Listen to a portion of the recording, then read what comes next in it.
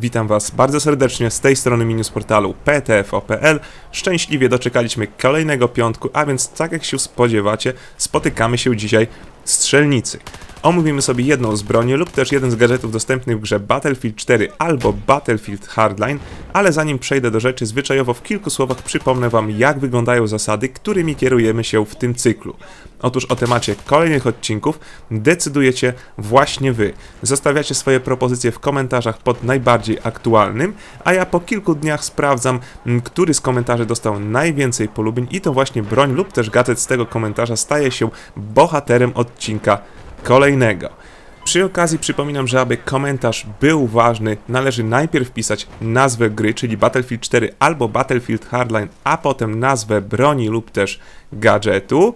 A w związku z tym, o czym powiedziałem przed chwilką, zaglądamy sobie pod odcinek ostatni, a tam po dość wyrównanej walce kilka broni zebrało bardzo podobną liczbę głosów. Wygrywa PDW MP X. Jest to broń, której za często do tej pory nie używałem, ponieważ w Battlefieldzie 4 nie ma za dużo okazji do korzystania właśnie z broni typu PDW. A czy był to mój błąd? O tym przekonamy się za chwilkę. Zanim jednak przejdziemy zwyczajowo do statystyk, powiedzmy sobie, jakie warunki trzeba spełnić, aby tą broń odblokować, ponieważ nie jest ona dostępna dla wszystkich graczy Battlefielda 4. Po pierwsze musimy zakupić dodatek Zęby Smoka, ponieważ częścią tego właśnie DLC jest MPX, awansować na mm, poziom 10 oraz spełnić trzy szczegółowe wymagania. Pierwsze z nich to dwie baretki PDW, drugie wymaganie to połączenie 10 punktów w sprzężeniu, a trzecie to zdobycie 10 razy wykonania rozkazu drużynowego, a więc najlepiej jest wskoczyć na jeden mecz w sprzężeniu, wykonywać dokładnie rozkazy naszego dowódcy, o ile tylko będziemy mieli kogoś takiego, kto wskazywać nam będzie kolejne flagi do przejęcia, dokonywać kolejnych połączeń.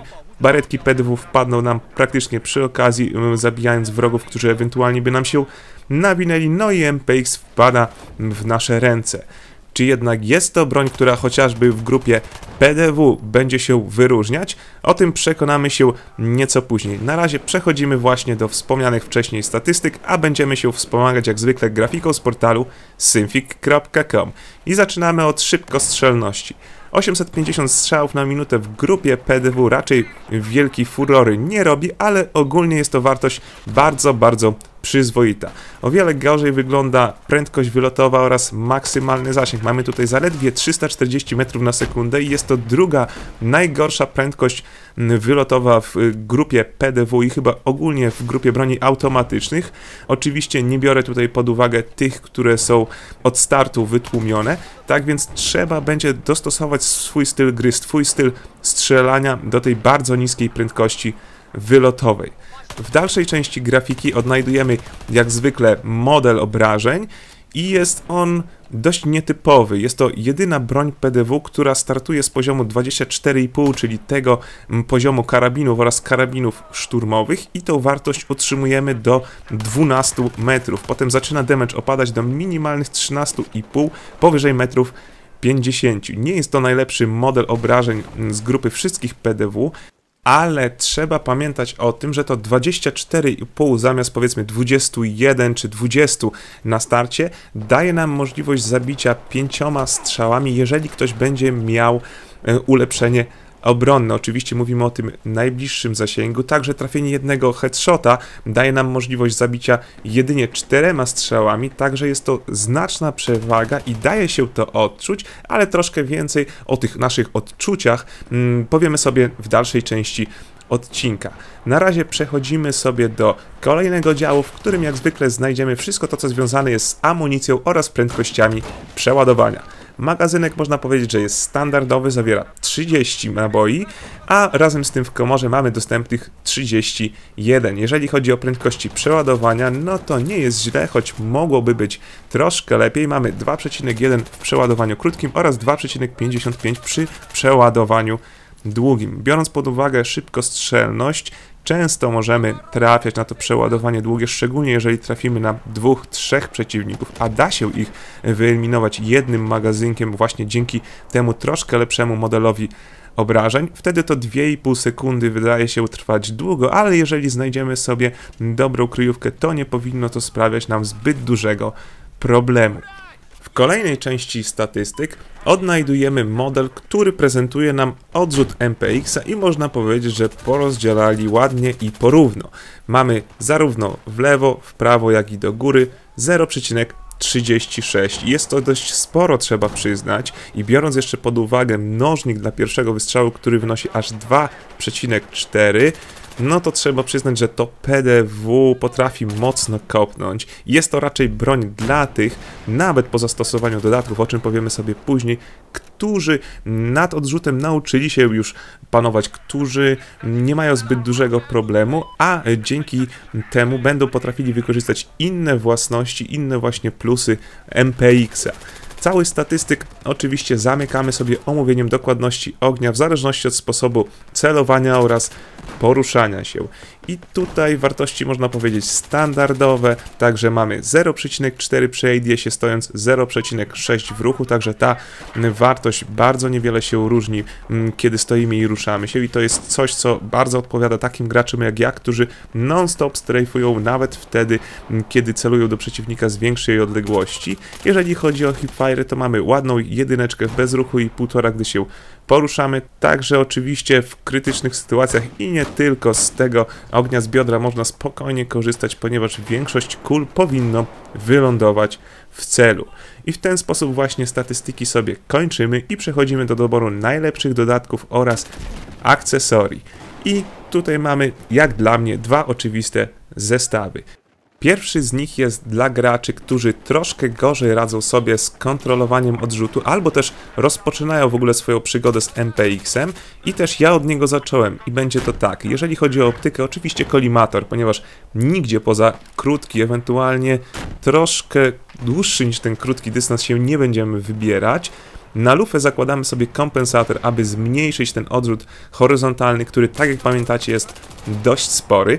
Jeżeli chodzi o chwyt, to stosujemy albo chwyt krótki, albo chwyt ergo, w zależności od tego, czy chcemy więcej strzelać z biodra, czy też chcemy mieć lepsze skupienie pocisków w przypadku, gdy strzelamy dłuższymi seriami.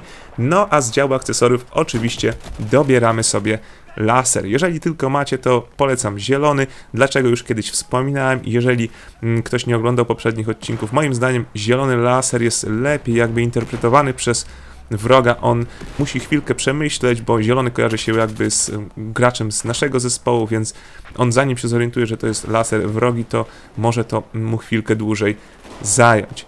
I tak wyglądałby ten zestaw, powiedzmy, dla graczy początkujących, a dla graczy zaawansowanych i zestaw, z którym związana jest nazwa tego odcinka i zestaw, z którym mi się grało najlepiej i kręciłem po prostu kosmiczne wyniki, naprawdę, uwierzcie mi. Najlepszy, jaki udało mi się wykręcić, to chyba 26 do 2, czy 28 do 2 nawet, a przeważnie KD po zakończonej partii było na poziomie 3, 4, 5, nawet i więcej. Tak więc muszę wam powiedzieć, że sprawdzała się ta broń niesamowicie dobrze w dominacji, a poskładałem ją następująco.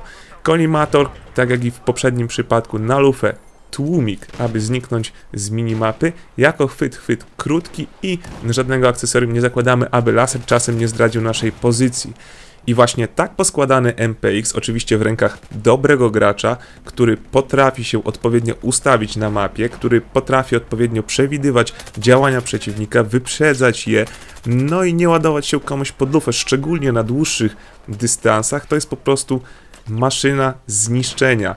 Nie wiem z czego to wynikało. Być może wynikało to z tego, że ostatnio w strzelnicy pojawiały się bronie, które nie za bardzo nadawały się do dominacji i musiałem się mocno namęczyć, aby zebrać dobry gameplay i musiałem się mocno namęczyć i przestawić swój tryb gry do tego, aby właśnie na tym bliższym dystansie mm, lepiej sobie radzić no to tutaj miałem po prostu czystą frajdę. Ja miałem wręcz problem nadmiaru dobrego gameplaya do wybrania do dzisiejszego odcinka. Zastanawiałem się, czy wręcz nie wrzucić wam jednego całego meczu, w którym właśnie kręcę jakiś super wynik, ale uznałem, że trzeba pokazać broń z różnymi mm, dodatkami i jakby zaprezentować te dwa style gry, o których wcześniej powiedziałem. Jeszcze zanim przejdziemy do oceny, jedna albo w zasadzie dwie istotne sprawy. Pamiętajmy, że gramy technikiem, a więc szczególnie w dominacji musimy korzystać z całego swojego y, wyposażenia i uzbrojenia. Jako broń osobistą polecam Magnuma, z którego jak widzicie ja dość często korzystałem, oraz Smał lub RPG, który potrafi dać się nieźle wyznaki na dłuższych odległościach. Bardzo istotny jest też dobór odpowiedniego ulepszenia polowego i polecałbym, uwaga, atak. I to ze względu na to, że dzięki niemu mamy więcej amunicji, a to będzie bardzo istotne, ponieważ tak jak wiecie, dość rzadko można spotkać na polu bitwy, szczególnie w dominacji skrzynkę z amunicją, a MPX zużywa wszystkie swoje kule w bardzo szybkim tempie. Także pamiętając o tym, można spokojnie wybiec na pole bitwy i ciekawe, czy także Wam MPX będzie się sprawdzał w takiej właśnie konfiguracji, a ja oceniając go w grupie PDW daje mu solidne 8,5, naprawdę. Broń daje radę, oczywiście mogłaby strzelać troszkę szybciej, mogłaby być ta prędkość wylotowa troszkę szybsza, zwłaszcza z założonym tłumikiem. Czasami na tych średnich dystansach widzicie, jak ja muszę dostosowywać się, jak muszę wyprzedzać y, zawodnika, właśnie y, aby go trafić ale jeżeli tylko się tego nauczymy i się do tego przyzwyczajimy, no to potrafić będzie nas bardzo miło ta broń zaskoczyć, czego Wam też życzę. Jeżeli odcinek Wam się spodobał, nie zapomnijcie zlajkować, subskrybować, dodać portal do ulubionych. Nie zapomnijcie także zagłosować na propozycję do odcinka kolejnego, a ja tymczasem odmeldowuję się i jak zwykle życzę Wam miłego weekendu z tej strony Miniu z PTFOPL.